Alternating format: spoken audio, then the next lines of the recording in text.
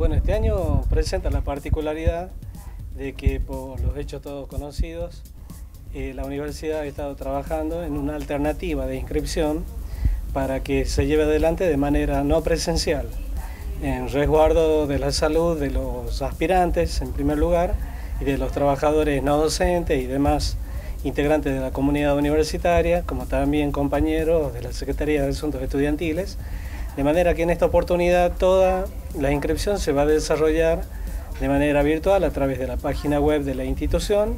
Se va a anunciar a partir del 9 de noviembre el link que va a permitir que todos los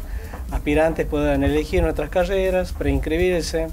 enviar la documentación a través de un formulario y un sistema informático que se está terminando de poner a punto y luego a través del mail se van a poder resolver distintas cuestiones vinculadas con algunas dudas o, documentación faltante que después a través del tiempo los aspirantes puedan este, ir entregando a posteriori. El cierre de las inscripciones opera el 24 de diciembre de este año.